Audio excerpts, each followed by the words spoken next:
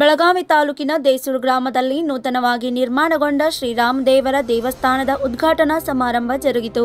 ದೇವಸ್ಥಾನ ಸಮಿತಿ ವತಿಯಿಂದ ಅತಿಥಿಗಳಿಗೆ ಶಾಲು ಹೊದಿಸಿ ತೆಂಗಿನಕಾಯಿ ಹಾಗೂ ಹಿಂದೂಗಳ ಆರಾಧ್ಯ ದೈವ ಛತ್ರಪತಿ ಶಿವಾಜಿ ಮಹಾರಾಜರ ಮೂರ್ತಿಗಳನ್ನು ನೀಡಿ ಗೌರವಿಸಲಾಯಿತು. ಈ ವೇಳೆ ಬಿಜೆಪಿ ಎಸ್ಸಿ ಮೋರ್ಚಾ ರಾಜ್ಯ ಕಾರ್ಯಕಾರಿಣಿಯರ ಸದಸ್ಯ ಪೃಥ್ವಿ ಸಿಂಗ್ ಹಾಗೂ ಜಿಲ್ಲಾ ಪಂಚಾಯಿತಿ ಮಾಜಿ ಸದಸ್ಯ ರಮೇಶ್ ಗೋರಲ್, ಪೃಥ್ವಿ ಸಿಂಗ್ ಫೌಂಡೇಶನ್ ನಿರ್ದೇಶಕ ಜಸ್ವೀರ್ ಸಿಂಗ್ ರಿಬ್ಬನ್ ಕತ್ತರಿಸಿ ದೇವಸ್ಥಾನವನ್ನು ಉದ್ಘಾಟಿಸಿದರು.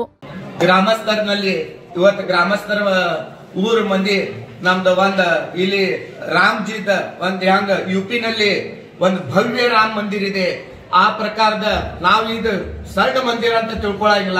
ಇದು ರಾಮಜಿದ ಒಂದು ದೊಡ್ಡ ಭವ್ಯ ಮಂದಿರ ಅಂತ ತಿಳ್ಕೊತೀವಿ. ಇಲ್ಲಿ ಬಹಳ ದಿನಗಿದವರು ದಿನಗಿ ಕೊಟ್ಟ ಕೆಸೆ ಈ ರಾಮ ಮಂದಿರವನ್ನ ಕಟ್ಟಿದಾರು. ಈ ಈ ತರಹದ ಮಂದಿರ ಎಲ್ಲಾ ಊರಿನಲ್ಲಿ ಆಗ್ಬೇಕು ಅಂತೂ ಎಲ್ಲಾ ಗ್ರಾಮಾಂತರ ಜಿಲ್ಲಾನಲ್ಲಿ ನಾ ಕೇಳ್ಕೊತೇನೆ.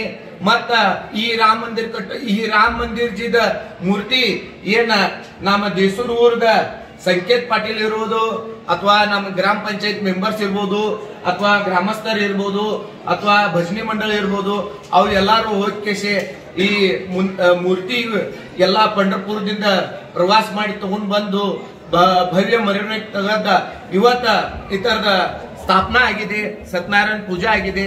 ನಾ ಎಲ್ಲರೂ ಯಾರು ಇತರ ಸಂಬಂಧ ಗೆದ್ದಿ ಕೊಟ್ಟಿದಾರೋ ಅವ್ರಿಗೂ ಶ್ರೀರಾಮ್ಜಿದ ಆಶೀರ್ವಾದ ಇರಬೇಕು.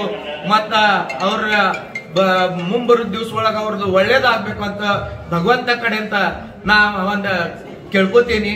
ಮತ್ತೆ ಈಗ ಇದ್ರ ಮುಂದ ನಮ್ಗೇನ್ ಅನಿಸ್ತೈತಿ?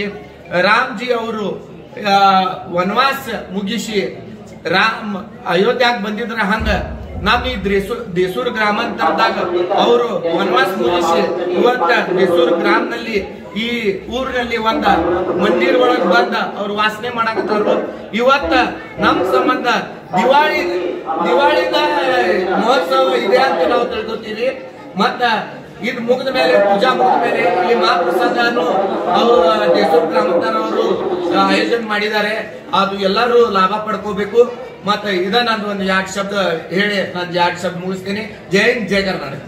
ಈ ಸಂದರ್ಭದಲ್ಲಿ ಚೇತನ್ ಪಾಟೀಲ್, ರಮೇಶ್ ಪಾಟೀಲ್, ಸಂಕೇತ್ ಪಾಟೀಲ್, ಯಲ್ಲಪ್ಪ ಸಾವಂತ್, ವಿನೋದ್ ಪಾಟೀಲ್, ರಂಜಿತ್ ಪೋಟೆ ಸೇರಿದಂತೆ ಶ್ರೀರಾಮ್ ಭಕ್ತರು ಹಾಗೂ ಗ್ರಾಮಸ್ಥರು ಹೆಚ್ಚಿನ ಸಂಖ್ಯೆಯಲ್ಲಿ ಉಪಸ್ಥಿತರಿದ್ದರು. Mahadev Pawar, Kannadama news network, Belagavi.